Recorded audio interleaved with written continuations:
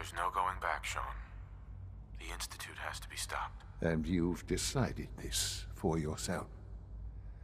It's not enough that I lay here dying. Tell me then. Under what?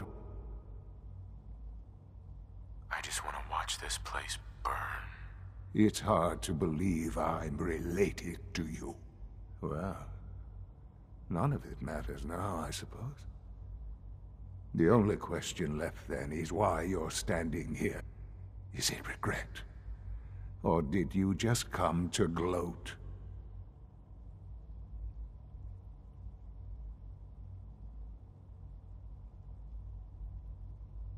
I didn't want it to end like this, Shaun. I'm not a monster. If that's what you tell yourself, so you... Son. You've doomed humanity. You know that. There's nothing more to say. I'll see you in hell. Along with the rest of the Commonwealth.